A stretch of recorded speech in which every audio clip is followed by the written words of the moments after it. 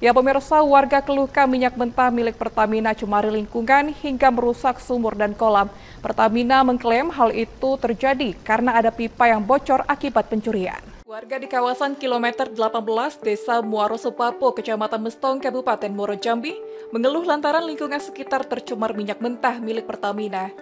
Wahyudi, salah seorang warga mengaku, sumur maupun kolam pemancingan tempat usahanya penuh minyak mentah berasal dari pipa penyaluran minyak yang bocor Kondisi itu membuat air bersih tidak bisa digunakan. Kemudian ikan di kolam pemancingan mati, hingga mengalami kerugian jutaan rupiah per hari. Warga berharap adanya kompensasi dari Pertamina. Diduga kebocoran pipa itu disebabkan karena aksi pencurian atau illegal tapping. Pasalnya di tempat kejadian ditemukan alat pencurian. Bocor ini kemarin karena kata dari pihak Pertamina itu indikasinya katanya ada pencurian, ya kan ada pencurian, tapi pihak Pertamina itu sebenarnya sudah tahu bahwa dia akan ngemopnya aja pencuri itu. Ternyata belum sampai itu pencurinya terjadi pipanya sudah bocor. Nah sudah bocor sampailah ke kolam kita tempat usaha kita. Nah ini jadi sebab apa? Menjadi akibatnya kan? Akibatnya. Jadi kolam kita sudah tutup.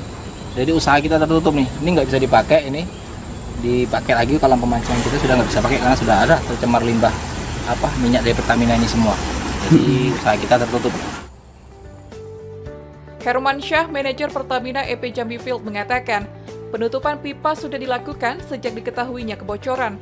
Sampai saat ini masih terus dilakukan pembersihan di areal yang terdampak.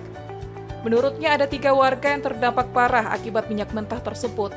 Kami melaporkan kasus ini, illegal tapping ini ke Polsek Mestong. Selanjutnya, kami melakukan penutupan kebocoran, pembersihan area terdampak, dan pemilihan lingkungan. Selama proses tersebut, kami memberikan bantuan air bersih kepada warga yang terdampak. Aktivitas ilegal tapping ini sangat merugikan negara. Dalam hal ini adalah Pertamina EPFIL Jambi karena adanya minyak yang hilang dan tumpah. Selain itu juga merugikan masyarakat dan lingkungan di mana minyak mentah tersebut tumpah dan mengalir ke kolam dan sumur warga. Selain pembersihan limbah, pihak Pertamina EP Jambi Field juga memberikan bantuan air bersih maupun makanan bagi warga yang terdampak. Kasus pencurian minyak ilegal tapping ini sudah dilaporkan dan saat ini sedang diproses pihak Polsek Mestong. Heru Syaputra, Cek TV, melaporkan.